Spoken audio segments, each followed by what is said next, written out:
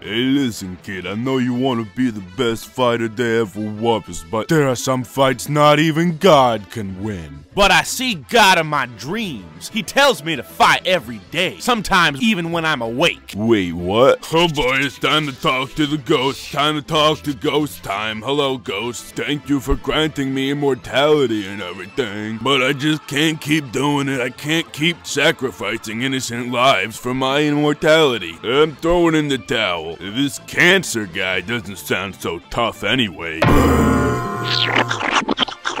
I'm gonna beat you, Cancer. I'm gonna beat you, you little bitch. You can never destroy me, Creed. I am all powerful and all knowing. But that don't matter, because I'm gonna fight you anyway, hey! My theory is if we can kill our doppelgangers, we can kill the cancer too. I knew it. I knew I could beat Cancer. I did it. I did it, everyone. I beat Cancer for good. I'll be back, Creed. And next time, you won't be so lucky. Listen, kid, even though you beat cancer, it's time for me to go. Time for me to be one with the angels, kid. I'm going to heaven. Can I come with you, Dad? I'm not your fucking dad. Well, that's all for now. Click here to give us a like and a subscribe, and click here to watch other full movies.